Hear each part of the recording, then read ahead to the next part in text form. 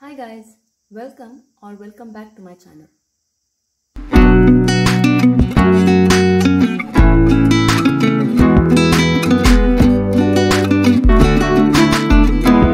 Before seeing fundamental principle of counting, let me quickly introduce you guys to new chapter that is permutations and combinations. The topics that comes under this chapter are fundamental principle of counting, permutations and combinations. We will see these topics one by one in my upcoming videos. So in this video, we will see the first topic that is fundamental principle of counting. So now let's see what is fundamental principle of counting.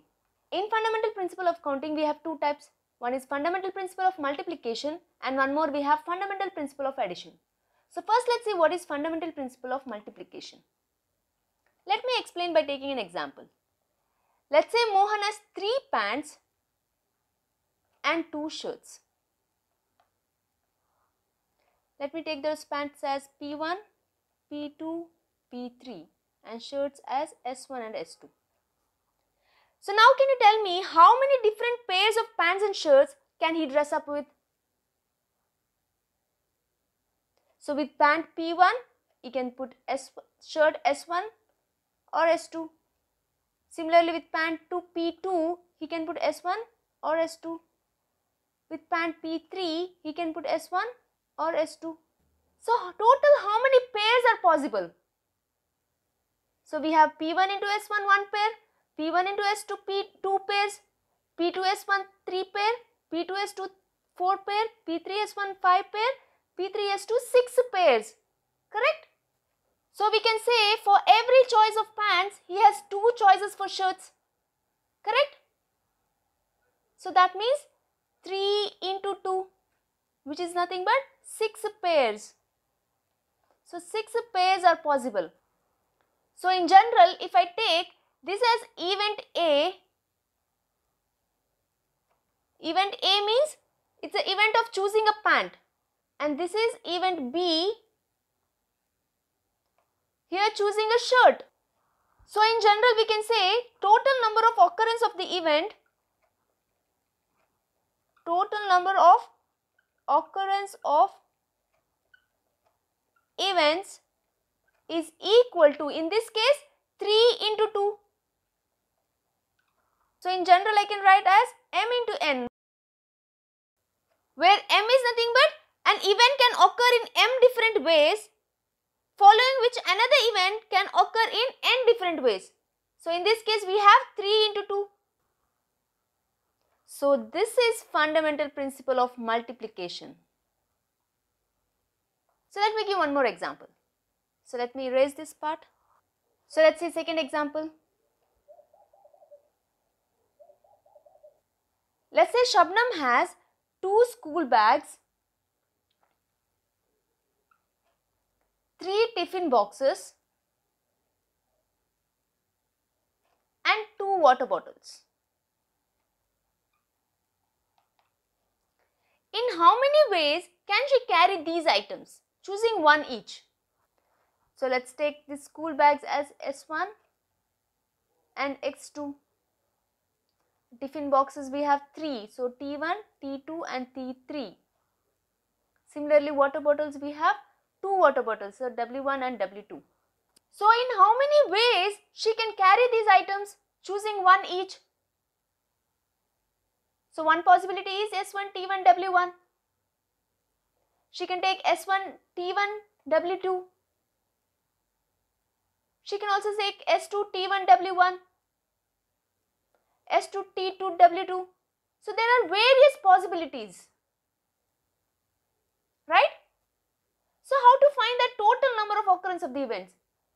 If I take this event as A1, sorry A and this as B and this as C, then the total number of occurrence of the events is given by M cross N. Here two events were there but here we have three events.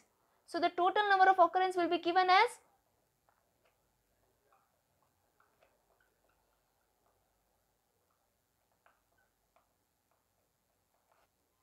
M cross N cross P. If I take event C is occurring in P different ways, then the total number of occurrence of the event is given by M cross N cross P. So M is 2 into N is 1, 2, 3. into P is 2. So 3 2 is 6, 6 2 is 12. So there are 12 possible ways she can carry these items. Correct? Taking one each. So this is what is fundamental principle of multiplication. Now let's move on to the second type that is fundamental principle of addition. But before that pause the video and note this down. Now let me give example for second type. Let's say you have three black ties and two white ties. So how many we have?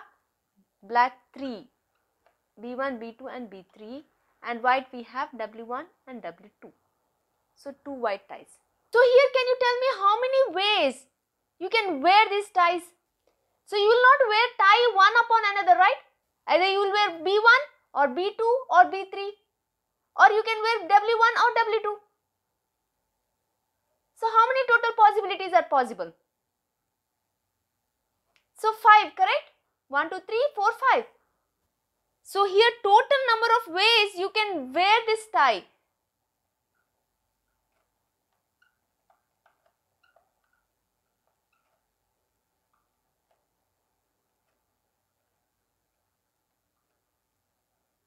Is equal to m plus n. If I take this as event A, this is event B. So choosing black tie is event A. We have three different types. Choosing white tie is event B. So the total number of ways you can wear tie is m plus n. So here in this case we have 3 plus 2. So that is 5 possibilities. So this is what is fundamental principle of addition. So when you will add, when both events are not possible together, correct? So at that time you are going for fundamental principle of addition. I hope this is clear. So now let's solve some word problems. But before that, pause the video and note this down. So now let's see this problem. Here it says, find the number of four letter words with or without meaning which can be formed out of the letters of the word rose R-O-S-E where the repetition of the letters is not allowed. So here they are saying we have to find how many four letter words is possible or you can form out of the word rose without repeating these letters. That means they are saying we have a word rose. This rose you can write as O-S-E-R. This is one way of writing this. We are not repeating any, uh, any of the letters, right? Otherwise, S-E-R-O. This is one more way. Like this, how many ways you can write this rose without repeating the letters? That they are asking. Right? I hope question is clear. So in rose we have four letters, right? So we have to form four letters.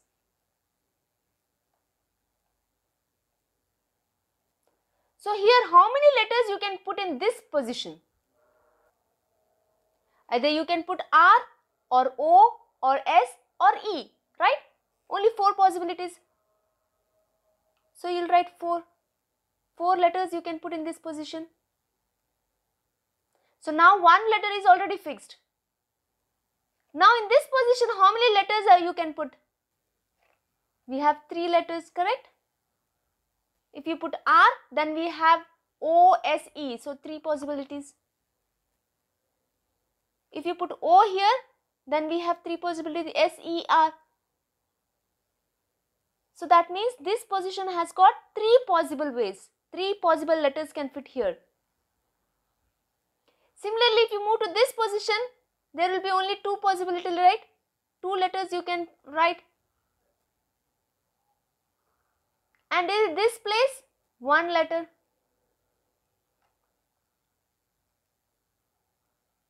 So therefore, total number of ways you can write is, write this rose is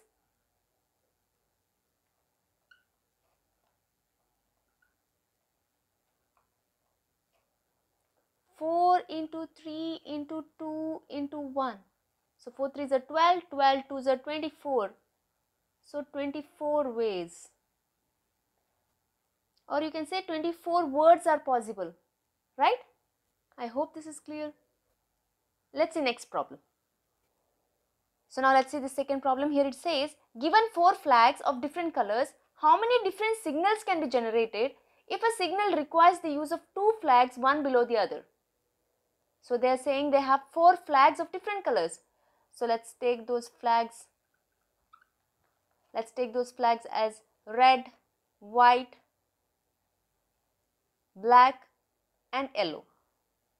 So we have four flags. So there we have to make a signal by using two flags, two colored flags such that they are one below the other like this.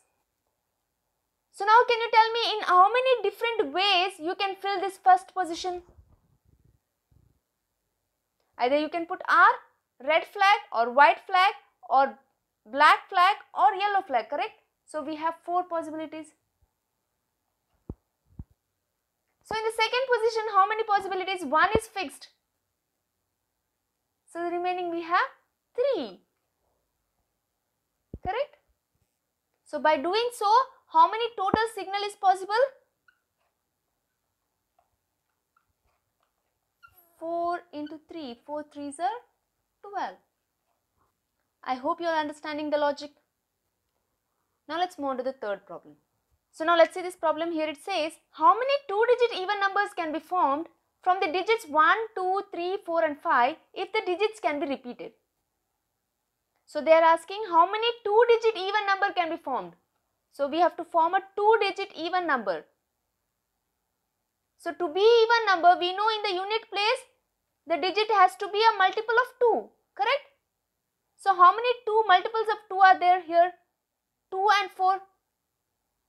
So you can fill either 2 or 4. So there are two ways correct. And what can be in the tens place? It can be 1 or 2 or 3 or 4 or 5. So how many ways are there? 1, 2, 3, 4, 5. So 5 cross 2 correct? So 5 2s are 10 ways. 10 ways or 10 two digit even numbers can be formed. So therefore we can write total number of two digit even numbers is 5 into 2 that is 10. If they were to say if the digits cannot be repeated then what would be the answer? So you cannot put 2 and 4 in this place correct? So that would be 1, 2, 3, 3 ways. So 3 into 2, 3 2s are 6 ways. I hope this is clear. Now let's see one last problem but before that pause the video and note this down. So now let's see this last problem. Here it says find the number of different signals that can be generated by arranging at least two flags in order one below the other on a vertical staff if five different flags are available. So they are saying we have to generate a signal by arranging at least two flags in order one below the other. So the signal can be generated at least two flags. So there are five flags, correct? Five different flags are available. So it can signal can be of two color flags or it can be three colored flags or it can be four colored, right? Four flags.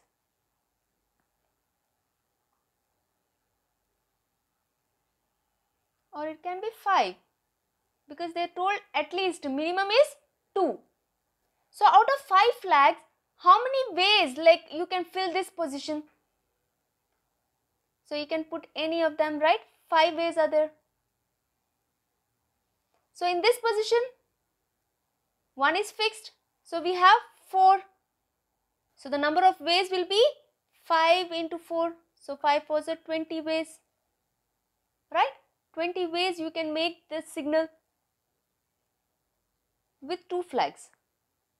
Similarly, if I see with three flags, so this position they have five chances, right? So here one is fixed, so we have left with four.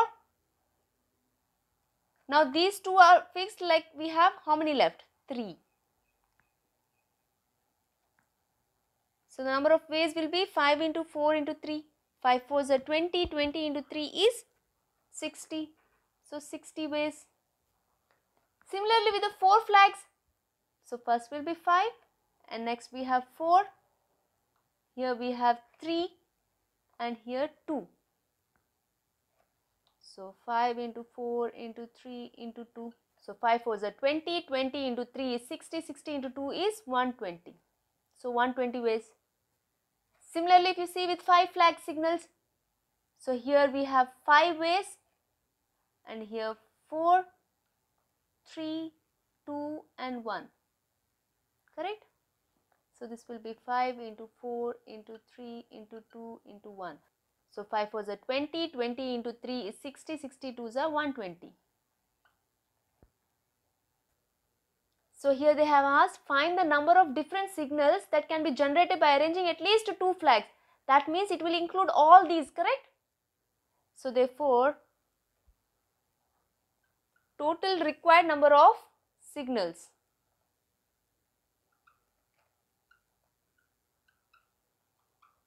is equal to 20 plus 60 plus 120 plus 120. So that will give you 320. So I hope this is clear. So this is it in this video. See you soon. Till then, take care. Almighty bless.